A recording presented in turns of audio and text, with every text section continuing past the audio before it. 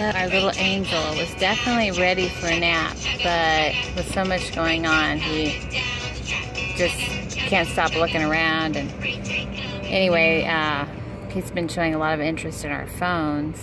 And so mom got him a fire Kindle.